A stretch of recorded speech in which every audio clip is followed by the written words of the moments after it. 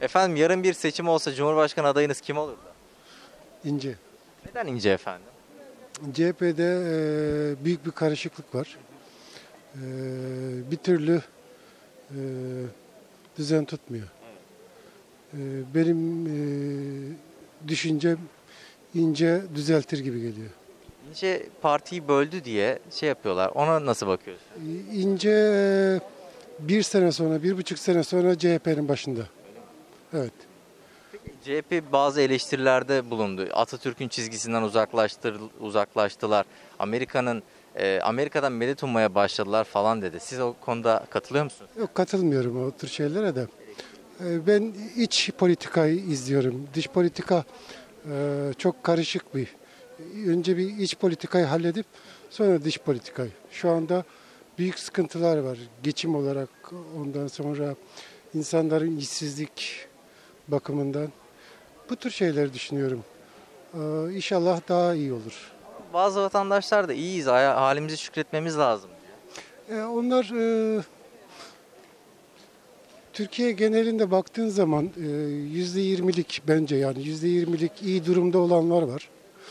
E, Yüzde seksende e, sıkıntılı olan var. Özellikle e, turizm personeli, özellikle esnaf.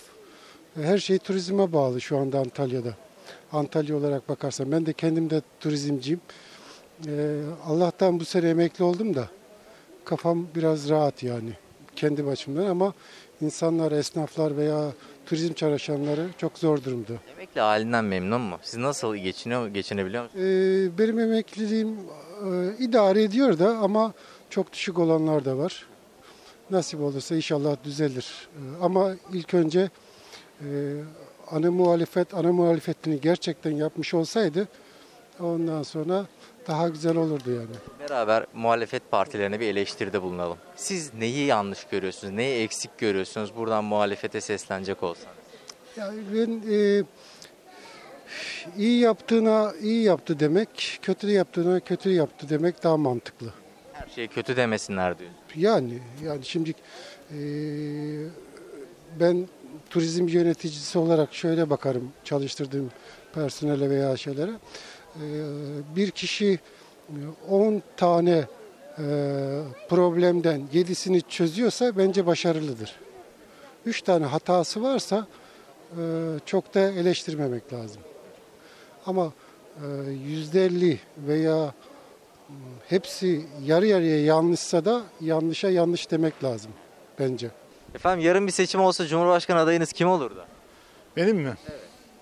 Ben aslında kendim Meral Akşener'i şey yapıyorum, destekliyorum. Ancak e, şimdi diğer AK Parti'nin haricindeki bütün muhalif partileri birleşmeli. Bu adamdan bu hesabı sorabilecek tek kişi varsa o da Mansur Yavaş. Çünkü hem kendisi hukukçu hem adam ciddi. Yani şimdi Ekrem İmamoğlu'nu da seviyorum ama Ekrem İmamoğlu zannetmiyorum. Yani ileride Recep Tayyip Erdoğan'a dönüverir. Çünkü Recep Tayyip Erdoğan'ı 2011'e kadar hakikaten güzel şeyler yaptı. Yaptı da kendi buluşları değil. Dağılan 3 şey vardı ya daha evvel Ecevit, MHP, şey, e, Anavatan'ın o üçlü koalisyon hazırladıklarını bu yaptı. Yoksa bu diyor köprüler, şunlar, bunlar, onlar e, eski Ulaştırma Bakanı bunları yapacaktı. Ama devlet projeler vardı diyor. Tabii vardı. Mesela hızlı treni, o ne e, kanal Marmara geçişi, o yollar, şunlar, bunlar köprüler hep e, Semih Öksüz'dü galiba Ulaştırma Bakanı. O yaptı ama bir PTT'nin tesisini sat, satmaya kalktı diye. Şimdi Devlet Bahçeli'den zaten ne devlet adamı olur, ne resmi adam olur. Diyor ona habire küfür ettireceksin, hakaret ettireceksin. Bunun için kitap yazdıracaksın, şiir, küfür şiiri yazdıracaksın, hakaret, beddua şiiri yazdıracaksın. Öyle dedin abi. E, Ya illet diyor ya zillet diyor. Yani ağzı karıştığı zaman güzel bir... E, Ben şimdi çocuklar olsun ufak çocukların onun seyretmesini istemiyorum. Çünkü küfür öğreniyor, beddua etmesini öğreniyor çocuk. Yoksa doğru bir şey söylemiyor ki. O yüzden ben Mansur Yavaş'ı aslında Cumhurbaşkanı yapacaklar. Ama CHP'de öyle bir CHP ki ben de onu da seviyorum. Orada arkadaşım bile var Bülent Kuşoğlu. Çok değerli bir insan, çok dürüst bir insan. Tam vatanperver. İşte ve Kemal Kılıçdaroğlu da aslında çok güzel bir şeyler yapıyor. Yani e, CHP'yi sadece o da tekleştirmiyor. insanı kucaklaştırabiliyor, sağdan soldan alıyor. Ama gel gelelim ne o İstanbul şeyi ince, ince denen pislikler, vatan hainleri, demokrasi hainleri, kalleşler, satılmışlar olduğu sürece zannetmiyorum bu AK Parti'yi de kimse yıkamaz. İnce için neden öyle söylediniz abi? Ya şimdi eğer ince bu şekilde demokrasi getirmeyi düşünüyorsa havasını alır. Neden abi? Çünkü İnce'ye İnce yüzde 31 aldı ama İnce'nin şahsına vermediler ki CHP verdi. Hatta ben İyi Partiliyim ben bile verdim. Ben bile verdim. Yani şimdi bir her hele şimdi İnce'nin ne bok olduğu belli oldu. Şimdi kötü sözlerimi çıkartın biraz sinirliyim onun için e, yayınlayın da. Fakat ondan adam olmaz. O şimdi ona kimse oy vermemesi lazım. Haddini bir bilsin. Ükelalığı bıraksın. Bu şekilde demokrasiyi getiremezler. Demokrasinin gelmesi için mutlaka bir partinin, bir kişinin, güçlü bir kişinin ağzı laf yapan, becerebilen, o da Mahsur Yavaş görülüyor şimdi. Sarıgül de yolunu ayırdı. Ona nasıl bakıyorsun? Ha İsmail şey o, ne Muharrem İnce'yi getirmişsin. Ha Sarıgül'ü getirmişsin ya. Aynı. Aynı hiçbir fark etmez benim için. Vatandaş sizin bu söylediklerinizi görüyor mu? Böyle bakıyor mu sizin gibi? Yoksa AKP'yi mi şimdi daha bakın, bakın şimdi tarihini bilen bir insan. Ben 58 yaşındayım. Tarihini bilen bir insan. Bir de hani %99'u Müslüman dediğimiz bu ülkenin aslında %90 İslam'ı bilmiyor. İslam'ı tam bilen insan bunlara oy vermez. Çünkü niye? Hazreti Ömer'in adaletiyle görev yapar diye verdik. Ben de verdim 2011'e kadar. Hazreti Ömer'in adaletiyle görev yapar diye verdik.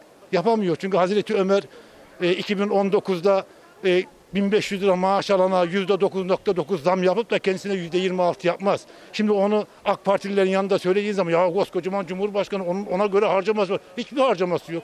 Avrupa'ya gidiyor geliyor maaşı çiftleniyor. Devletin uçağıyla bedava devletin kasasından da bir de para alıyor dışarıya çıktı diye.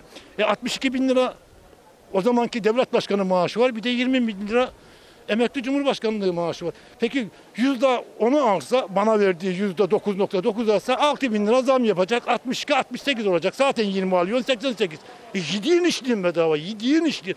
Bebesi belli, çoluğu çocuğu ikişer üçer maaş alıyor. Ya vakıflardan ya bilmem ne ya bilmem nereden. Hani ya hak deyip de ok atmasını bilen adam askerlik yapmasını mı beceremeyecek? Hani vatanperverlik, vatan sevgisi nerede? Benim üzerimden traktör geçti. Vallahi kendim gittim. Beni çürüğe ayırıyorlardı. Vallahi çürüğe ayırıyorlardı. Kendim çürüğü istemedim. Çürüğe imza atmamak için e, Ankara Kuleli Askeri İttifak Etmesi'nden kaçtım. En sonunda tarlada ekin ekerken yakaladılar, geldiler götürdüler. Sevindim. Öylelikle askere gittim. Hani vat, e, şeyse vatanını çok seviyorsa iki çocuğunu da askere göndersin. O 13 kişi yazık değil mi ya? Şimdiye kadar hiç ölülmedi. Yazık değil mi? 13 kişinin yanında bir 3 vatan evladımızı, kardeşlerimizi daha verdik. 16 kişi. Ya öyle çocuk mu? Öyle esir mi kurtulur ya? Bu ülkenin hiç mi e, o e, şeyde esir demeyeyim ben ona. Ne, derler? E, şeyi kurtaracak birimimiz mi yok ya? Ne güzel sualtı savun, savunma timlerimiz, sualtı taarruz timlerimiz. Ne o şeyler var, özel harekatlarımız falan var. Onlar isteseydi, yetki verseydi ama bu adam ükelalık yaptı, şımarıklığıyla. E, bu şekilde mi ya? Türkiye bu hale mi geldi ya? Ecevit 1974'te Kıbrıs'ta karısının haberi yoktu. Hatta o Dışişleri Bakanı'nın kızım Ayşe tatile çıksın dediğinde kızı şaşırdı. Ben de tatile çıkacağım diye. Demek ki kızının haberi bile yokmuştu. Böyle kazanırız işte ya. İşte o gün çarşamba günüydü. Ee, Erdoğan iki gün öncesinden bir müjdem var dedi. Ee, operasyonla ilgili bilgi- Buymuş işte. Ha demek ki o bu 13 kişiyi gözden çıkartmış. Demiş ki ne?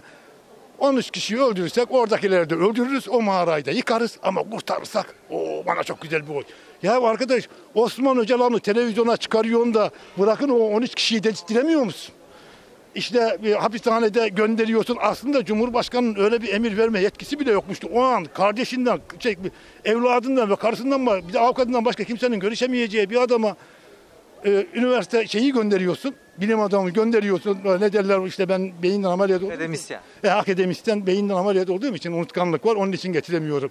E, bunları gönderiyorsun. Gelince de kendi lehine mektup okuyorsun. Sonunda da ne çıkıyor? Yok biz onları yazmadıydık diyorlar.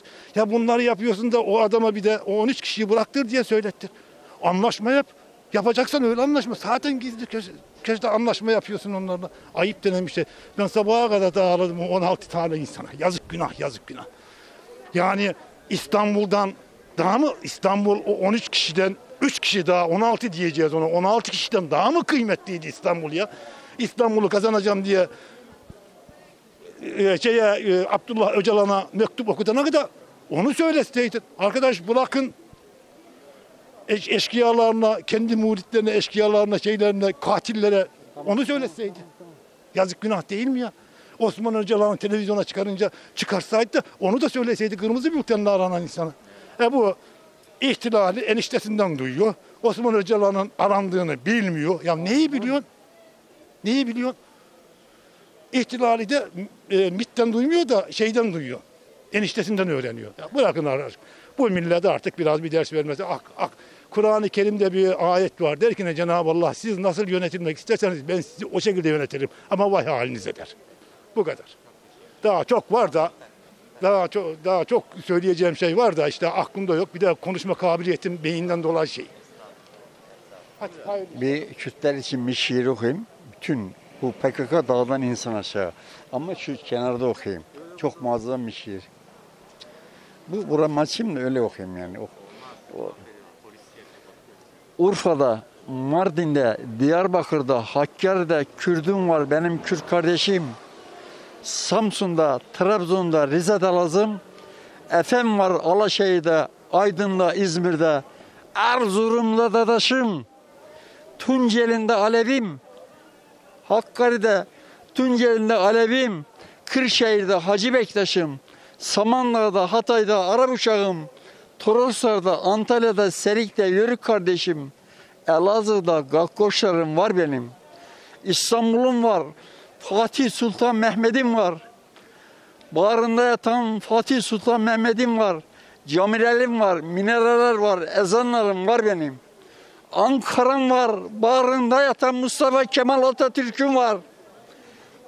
Ordularım var, polisim var, emniyetim var. Ay yıldızı, bayrağım var benim. Olay bu kadar. Türkiye'nin durumu bu. Hepimiz kardeş, hepimiz. Kahrolsun PKK, kahrolsun PKK, kahrolsun PKK. Hadi.